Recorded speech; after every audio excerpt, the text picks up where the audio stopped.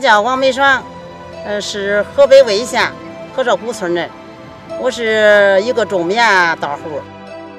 王梅爽家里的棉田主要是由他负责管理。以前他花在地里的时间很多，繁忙的劳动使他感到疲累。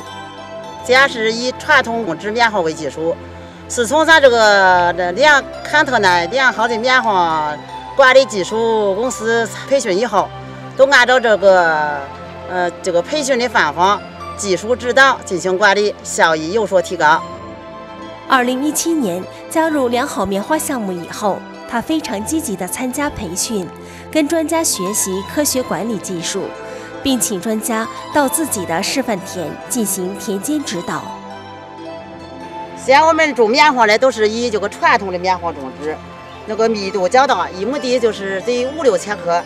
从这个这个良好棉花管理技术一给我们指导呢，我们这个行距较宽，密度是一个一亩地是三千五百克，啊，都指这个棉花质量都上去了。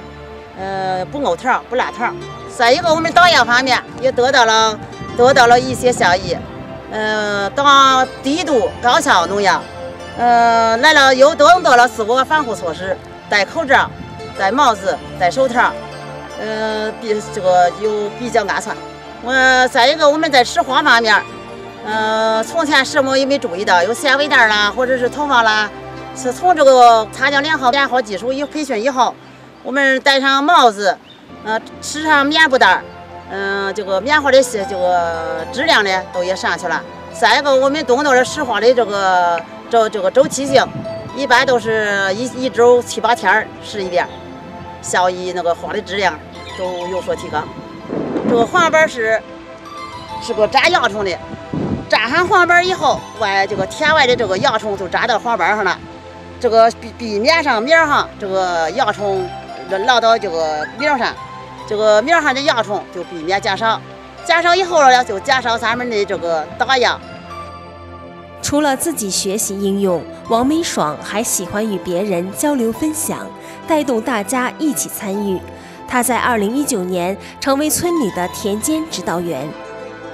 我们村儿是二零一七年参加这个加入了这个良好的棉花嗯项目的。从前是我丈夫这个当这个田间指导员了，嗯，有些项目他工作挺忙，我就帮着他给他发放资料、招集人才、填写数据，一切事务都是由我们俩办。嗯，从今年开始，嗯，我就正式二零一九年正式加入了这个田间指导员。我是一问因为因为我是一个开朗，嗯，爱和群众打交道的一个人，所以我愿意参加这个田间指导员。